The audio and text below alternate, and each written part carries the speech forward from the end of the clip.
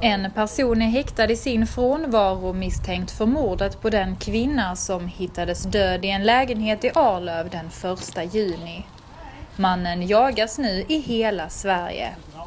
Det var när fyrbarnsmamman inte dök upp på sitt jobb som hennes arbetsgivare blev orolig och kontaktade kvinnans anhöriga. Tillsammans med arbetsgivaren tog de sig in i hennes lägenhet och fann kvinnan död. Ambulanspersonal kallades till platsen och fattade omedelbart misstankar om att kvinnan fallit offer för ett brott. Redan samma kväll riktades misstankarna mot en man.